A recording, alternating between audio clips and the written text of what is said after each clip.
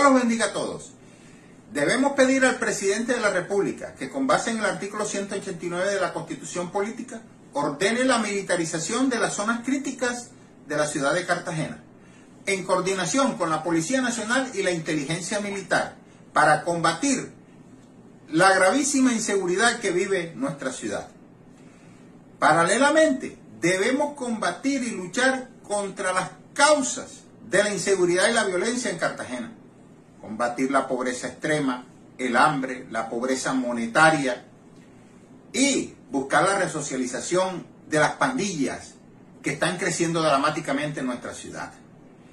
Estos jóvenes sin oportunidades, que aproximadamente ya son 3.000 en la ciudad de Cartagena, se dividen en alta, mediana y baja peligrosidad.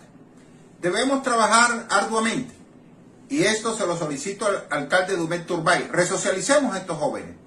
Propongo para su resocialización que los ocupemos en sus sectores, haciendo aseo en coordinación con las empresas de aseo, limpiando, pintando y, y todas clases de actividades y se les reconoce una contribución en especie, en mercados para ellos y su familia,